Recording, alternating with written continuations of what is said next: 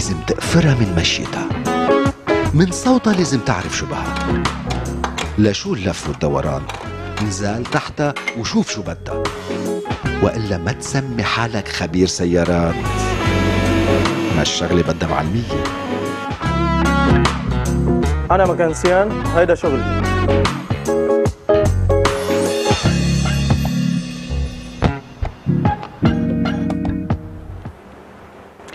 شيف جدي صار ناطرنا كمان وعنده أطباق كثيره قدامه خلينا ننتقل لعنده لحتى نشوف وين صار بتحضيراته ورشة ملح.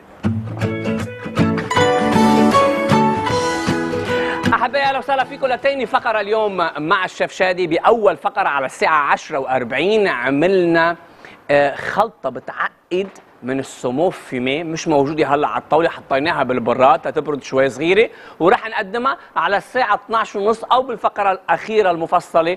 أكيد مع الشيف شادي ورشة ملح. شو رح نعمل هلا مع تسع دقائق رح احاول أعمل شغلتين. رح نعمل ترتار دو سمو بس على طريقتي أنا وطريقة كتير حلوة طيبة ومطعمة بكمان زيت السمسم بخل الرز وبالصويا صوص وبالملفوف. الخيار. الحامض تبلش تبلش عمال لكم شوي. عندي الخيار المقطع صغير صغير. عندي كمان هون من برش الحامض.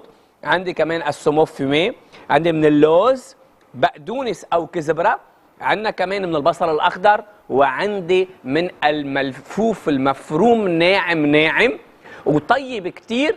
إذا كان الملفوف مقلي شوي صغيره وبعدين مقطع ناعم ناعم. أو مسلوق شوي ومقطع ناعم ناعم. لأنه بتختلف الطعمة بين القلي بين السلق وبين الملفوف الني يعني كله سوا كمان بيعطونا طعم كتير حلو. Okay يا شيف شادي هلأ بنبلش رح بلش كمان نحط الخيار كلهم سوا مع بعضهم بطريقة كمان سريعة. طلعوا كيف السمو كمان اللوز كمان البقدونس رح نرجع نعيد.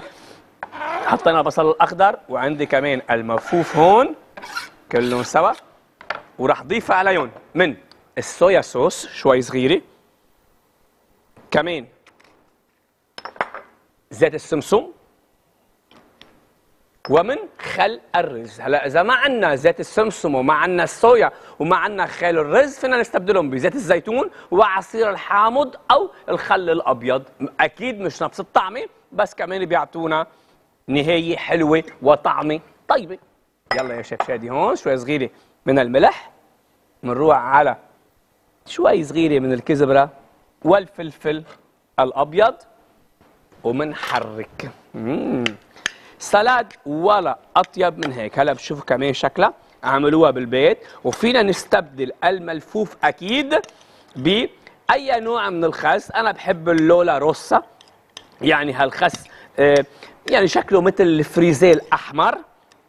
بيعطينا كمان طعمه ولا أطيب من هيك. طلعوا شو صار؟ عندي هالخلطة الحلوة اللي رح هلا أسكبها. بهالصحن الجميل على مهلي. طلعوا كيف؟ وفينا أكيد نسكبها بشكل دائري بشكل كمان حسب كمان ال ال الشكل اللي عندنا. فينا نجيب أشكال مختلفة ونسكب بقلبها. مثل ما سكبت أنا قبل بشوي صغيرة الخليط تبع السمو مع الجبنة البيضاء القابلة للدهن. طلعوا شو جميله بهالطريقة هيك. ويلا يا شيف شادي. حبوب من الكابر على وجهها يعني كم حبة كابر هيك على وجهها بهالطريقة. وشوي صغيرة بعد من البقدونس. فيكم تعملوها سلاد. فيكم تعملوا هيدي الخلطة وتحطوها على كنبيات صغار أو على شقف كمان من الباجيت السخنة المدهونة أو بالثوم أو بالزبدة ومحمصة. يا سلام شو طيبة هيدي كمان تاني شغلة كمان عملناها لليوم. ثالث شغلة يا شيف شادي. أول شيء خلونا ننتقل هيك بسرعة وإذا بتلاحظوا نحن ما دقرنا كمان السمو بإيدينا. So بنعقم إيدينا وبنرجع على وصفة تاني. لأنه بس تستعملوا أو بدكم تشتغلوا بسمك السمو أو بأنواع من الأسماك حطوا دائما كفوف بإيديكم لأنه ما عاد بتروح الريحة عن إيدينا بسرعة وأكيد انظف يلا. أه مقلي. ولعنا تحتها رح أعمل شغلة ممكن مش متعودين عليها. هي نشوه جبنة. آه، إيه متعودين عليه يا شيف شادي بس يمكن مش متعودين إنه نخلط أنواع من الجبنة ونعملهم مثل كأنه كفتة. كفتة. يعني فينا نحط فيها بصل فينا نحط فيها بقدونس فينا نحط فيها أي نوع من الخضار المفرومة بقلبها أو البهارات أو المطيبات مثل الأعشاب العطرية يعني الطازة أو كمان اليابسه لكن شو عندي أنا هون؟ عندي من الموتزاريلا عندي من ال emmental وعندي من جبنة كمان ال Havarti وعندي من الجبنة البيضاء القابلة للدهن وعندي شوي صغيرة من الطحين. اللي راح أعمله هو راح ضيفهم على بعضهم طلعوا كيف يعني أنا بقوا عندي من كتار أو من وصفات كتيرة بقيوا راح أجمع معهم شوي صغيرة من الطحين وراح نحط عليهم إذا بدكم من بعد ما نجمع هالأنواع من الجبنة اللي عندي بس بشرط إنه هالأنواع يكون داخلهم على القليل شي نوع أقدر يقدر يمسك لي الجبنة مع بعضها. بس أعجنها الموتزاريلا منيحة الهافارتي بتعقد بنروح كمان على الجبنة البيضاء القابله للدهن بتجنن وكمان كمية الطحين ما تكتروها كثير أوكي؟ بطريقة إنه ما تطغي على طعمة الجبنة. راح نطعمها بشوي صغيرة. من الكركم عندي من البابريكا. بكفي يا شيف شادي. ويلا على عجن. طلعوا كيف؟ عم نعجن نحن هالمزيج كله سوا. كأنه عم نعمل four cheese. فينا نحط أكيد بري كاممبير أي نوع من الجبن البيضاء القابلة للدهن. فيكم تطعمون مثل ما بدكم. اعملوا اللي بدكم. يطلعوا هالخليط مع شيء فينا كمان نعجنهم بوحده أكبر يا شيف شادي. بس مانك عامل حساب. ماشي الحال. يلا. طلعوا شو عم بيصير هون. واو. هلا اللي راح يصير عندي هو التالي. منجيب نحن. أول شيء خلونا ننظف كمان قدامنا. طريقة كمان سريعة. ومنجيب عنا سياخ الخشب يلي منشوي فيهم. مزبوط ناخذ نحن. شوي صغيرة من الجبنة. يلا يا شيف شادي. كتار هو مش شوي صغيرة. ناخذ نحن السيخ ومنروح. يا سلام.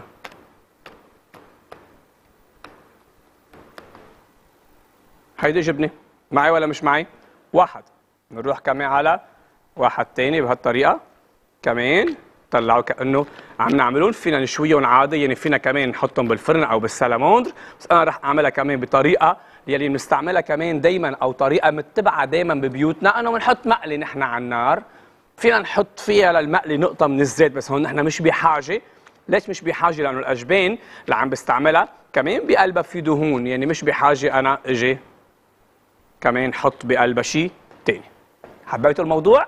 شلنا الكفوف والعودة على الشوي. أنا عندي المقلي ما في بقلبها شيء أبدا المقلي فاضية نضيفة. وولعها تحت على حرارة عالية بالأول. وبعدين بس نحط الجبنة عليها ساعتها الحرارة بنرجع بننزلها شوي أحسن ما تحترق الجبنة وتدوب من ميلة أكثر من ميلة بهالطريقة في عنا شغلتين فينا نعملهم.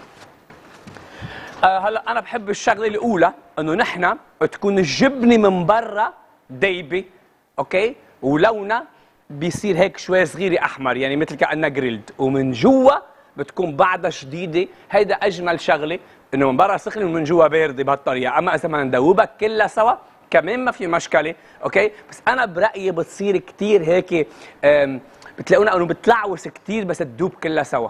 فاعملوا مثل ما أنا عم بعمل أو كمان دوبوها وجربوها كمان أنتم بالبيت وبعدين خبروني شو رأيكم. واحد اثنين ثلاثة. طلعوا كيف؟ هون رح فرجيكم أنا وحدة. قبل ما أحط أنا كمية حطها بهالطريقه هيك. وعندي هون طبق. من البندورة. فينا نقدمها مع البندورة. فينا نقدمها بقلب ساندويتش باجيت. وبقلبها نكون حاطين ما بعرف roast beef ونكون حاطين hot dog ونكون حاطين بدكم اياه ونجي نشوي الجبنة ويلا كمان بقلبها. نكون عاملين مثلا تنقول برجر. هالبرجر اللي عاملينه كمان بدنا نحط عليه cheese نشوي ال cheese وبنحطهم فوق البرجر. وفينا كمان نشويهم. انتبهوا مش ضروري نعملهم مثل الكفتة أو مثل الكباب. فينا نشويهم عادي نعملهم مثل البرجر ونشويهم. طلعوا شو صار عندي ليكو راح إبرمها. هاي شكلها ابرم هون عملكم شوية شيف شادي. طلعوا اللون تبعها قد إيه حلو. معي ولا مش معي؟ عم تبين عنا. راح أجي أحط الثاني لأنه بعد عندي دقيقة ها. وراح أجي أحط الثالثه لأنه عندي دقيقة. وبيجي بشويهم وطي النار يا شيف شادي لأنه كمان قوية صارت. وبلشنا نشوي يعني بهالطريقة. كمان فكرة كتير حلوة. للسندويشات عندنا بالبيت طلعوا كمان. يا شيف شادي هون. طلعوا اللون الحلو تبع الجبنة. بيعقد كمان هون صار وقت. قرب لهون. كمان هون صار وقت. شفتوا الشكل تبعها كيف؟ كمان هون هيك ها. يلا نبلش. واحد هون ستويناها من جميع الميلات. ليكوا الجبنة قدها حلوة. رح حاول كمان أنا أشيلها بإيدي. طلعوا. وفينا كمان إذا عندنا أولادنا بالبيت فينا ناكلها بهالطريقة من دون أي مشكلة. طلعوا الجبنة قديش حلوة هيك. وهودي كذا نوع من الجبنة فينا نحط السيخ هون هيك بهالطريقة.